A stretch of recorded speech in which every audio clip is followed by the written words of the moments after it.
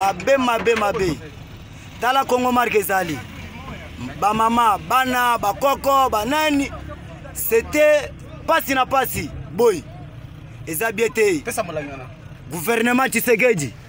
fo guvernema mbongo ezomata te biso to tobokaka tokufwaka boyi bamama bana mike baseke mpasi mingi sana mpo na kongo congo tokobundela yango me toboyi politike batindili biso atitaki ya munduki oyo bapesi biso yango te eke epa rebele tala tribalisme oyo eza na kati ya congo munduki oyo eza bien forme babeti biso lokola bambizo vraiment botikela kasi bango mabele ya bunaganda na ruturu batikela bango bazwa tokufi ebele na kati ya congo toboyi tribalisme tribalisme eleki ebele mpo bagénéraux ya congo oza otindi motu aza na mposa alya mbango eza bie te ekipima ya congo eza te mirage eza te avia ata de combat eza te eza bie te eza bie te mpenza vraiment na congo na kongo soki toza boye yeba ngai nakotika arme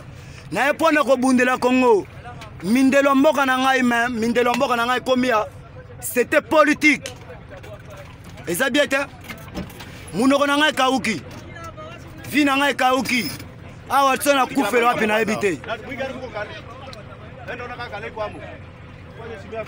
osisa te motu mosusu azali champion ah. vraiment na congo tala marika namela mai lokola mbwa mwasi na ngai na kati ya kinshasa trois bana ya basi naya kobundela kongo mpo na mindelo ya kongo me tala kongo marika ezosala makambo eza vi moko sete pasi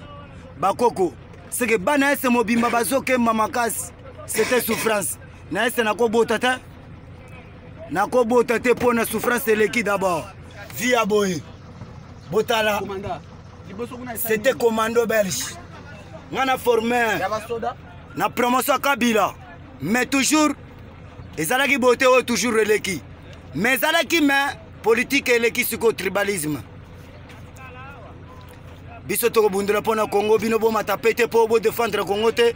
bosalaka tribalisme tokobeta bino na